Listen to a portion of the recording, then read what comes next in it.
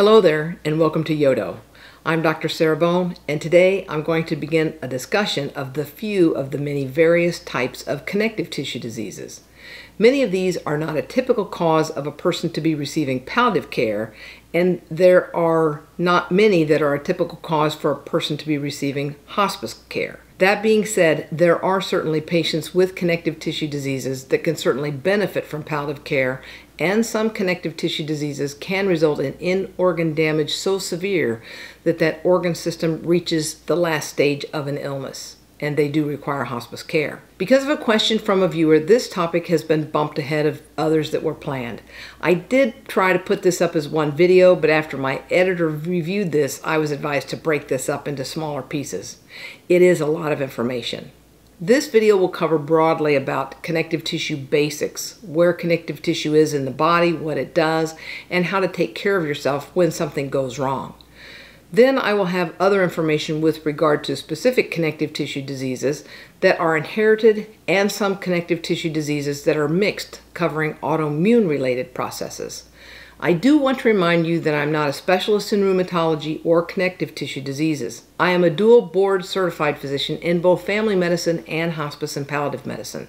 Thus, this information is from that perspective. Now for some basics. Connective tissue diseases are chronic illnesses, and there are treatments of variable success available for many of these, but not a curative measure.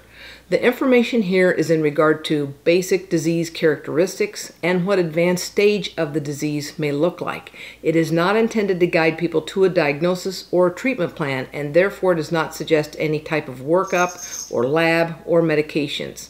If you're having issues, please follow up with your primary physician for direction. As you will soon see, this is a huge topic, and specialists that are knowledgeable in these illnesses and the intricacies of connective tissue diseases is needed.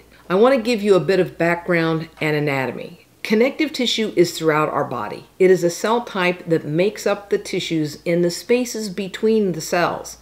Connective tissue supports, cushions, surrounds, insulates, and connects. It is literally everywhere and makes up the structure of our body. Connective tissue plays an important role in the function of the body, and in some instances, it defines the role of a particular organ system. It is present in and a very important part of each organ of the body. It is important for proper body and organ structure as well as organ function, body movement and flexibility, plus the necessary molecules that are made by connective tissue cells are used every day. Connective tissue provides a framework for the inside and outside of our cells. The specific form, function, and products made by the connective tissue cells varies based on the organ that it's associated with or around, and so does the specialized function that the connective tissue performs. These cells and the molecules they produce not only provide the physical structure of our body and the organs, but they also play an important role in our physiologic function of our body. The most rigid or firm connective tissue of the body is bone tissue. Bones are just one of the many classes of connective tissue, and they provide the framework of our body. Bone tissue also makes our blood cells, a very specialized class of connective tissue. In addition to bones and blood and other specialized connective tissue cells, we include cartilage, tendon, and ligaments. Cartilage provides cushion, structure, and forgiveness to protect the bones from rubbing on other bones and provide cushion from injury. Tendons and ligaments attach bones to bones or bones to muscles or muscles to bones. Fascia is the lining around our organs, sort of the skin of the organs themselves. Your abdominal organs have fascia around them as well as being around and between the muscles of the body like a sleeve. It surrounds the brain and it has you have peritoneum that kind of holds your abdomen in place and fascia comes in superficial, deep, and visceral forms. Molecules that you're likely familiar with include collagen, fibrin, and elastin. These are a few of the products that connective tissue cells make, and they also fall into the class of connective tissue. They help your body have form, yet be flexible and resilient. Thus, you see, connective tissue might be inflexible or stretchy, rigid or bendy.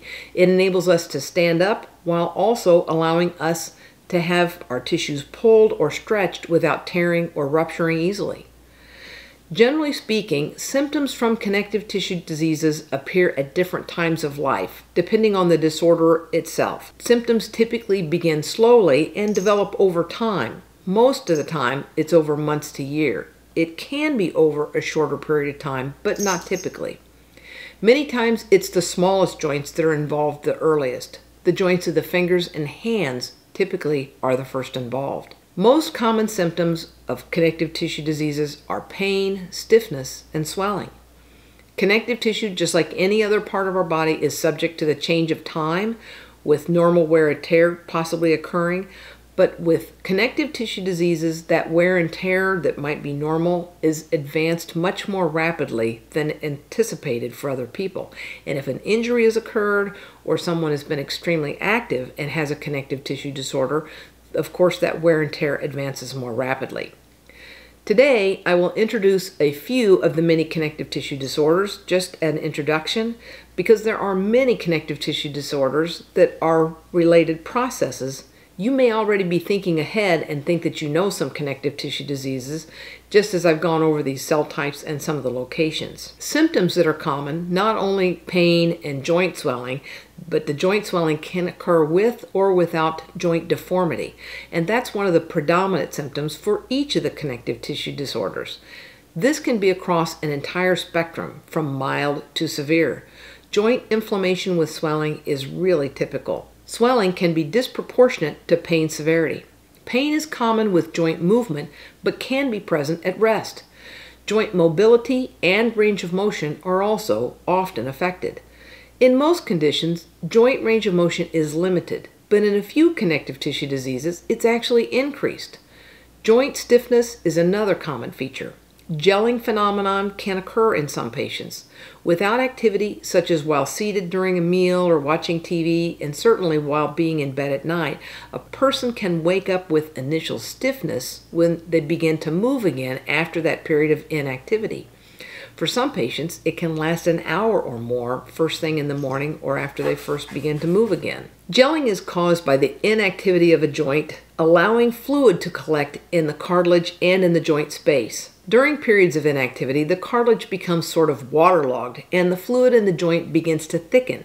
Think of thick paint that has sat for a period of time and needs to be stirred up to get it moving again. The problem is that the joint is already sore, and now with the extra swelling of the joint, the waterlogged cartilage, and the joint fluid all getting congealed, restarting that movement is even more difficult and more painful than usual. Another common symptom for some can be a phenomenon called Raynaud's. Raynaud's is when the fingers get exposed to cool temperatures or cold temperatures. Those fingers will rapidly chill and they chill abnormally and they stay cold longer than they do for other people. The fingers and the hands often become discolored, turning very pale or white. Sometimes they can even look like they're blue in color. But this discomfort and those cold fingers are associated with these Raynaud symptoms. Simply just getting into the refrigerator, certainly the deep freeze, when carrying a cold object, and definitely going out into cold weather, can trigger these Raynaud's events. Many patients will have attacks of Raynaud's and will learn over time not to carry a cold object without gloves. Lastly, there are numerous general symptoms associated with connective tissue diseases, such as those related to poor sleep, increased fatigue, and certainly mood issues such as depression or anxiety are common. Some patients experience appetite and weight changes. Abdominal symptoms of pain or bowel issues are common. Many patients have anemia at the time of diagnosis, and even while being treated, their anemia may continue and it may not resolve. Some of these conditions carry a higher risk for skin changes, such as skin changes, thickening, skin rashes, and hair loss.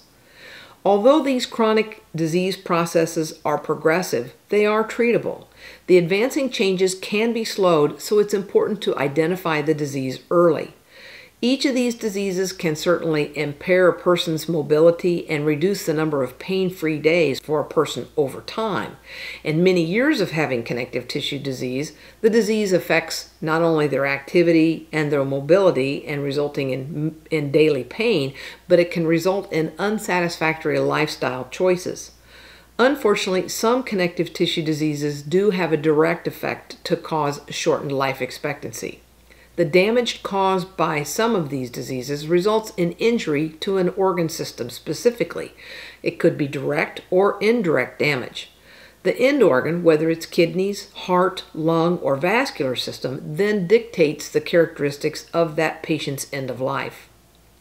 The first group of connective tissue disorders that we're going to go over in the next video will be those that are inherited and run in families. And there are many diseases that fall into this particular category of connective tissue, but I'm only going to go over a few of the more common ones. Ehlers-Danlos, Marfan's, and osteogenesis imperfecta will be the ones that we discuss in this class.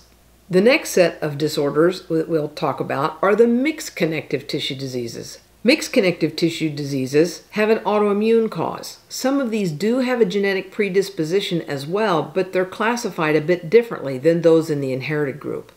The few autoimmune mediated connective tissue diseases that I'm going to go over include lupus, scleroderma, dermatomyositis, polymyositis, Sjögren's syndrome, and rheumatoid arthritis.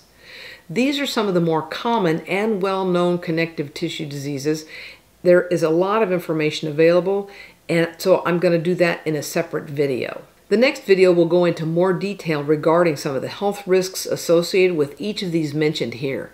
Certainly there are treatments to slow these disease processes, but once the joint damage or the organ damage has occurred, there's not a medication to return that and return that bone or cartilage or ligament or organ system to an undamaged state. Thus, the importance of early recognition and correct diagnosis uh, with good treatment and the appropriate medication that the patient tolerates is imperative. As with other disease states, if permanent damage occurs, it does not matter how we got here. We need to do the best that we can to proceed forward to have the best days possible.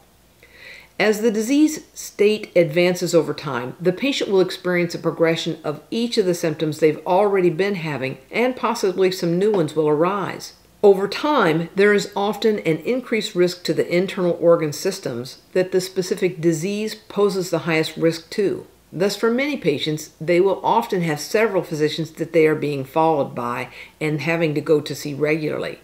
The goal is to keep the patient as healthy and as active as possible and mitigate the symptoms limiting their life as best we can. Please watch for the next video about connective tissue diseases. Thank you for forwarding the information to others, and I appreciate you helping the channel grow by subscribing. If you have a topic that you would like to discuss or a question that you want answered, please leave it in a comment below. Thank you for your time. I appreciate you staying with me through this so far. It has been a difficult one to listen to. I know this because my editor has told me so. You deserve a cookie, but instead have an apple this time. For those of you that have been interested, I also have a cat update on my cataract procedure. Both eyes have had cataract replacement now, and I'm really pleased with the vision in my left eye, and I'm happy with the vision in my right. The right eye is not as far along as the left, and I am hopeful that the right eye will continue to improve as I learn to use that new lens. I'm right eye dominant, so I'm really hopeful that that eye will become as good as the left eye is. It's been a really interesting process for me, and I hope I've shared some valuable information to you. Live each day to the best. Bye now.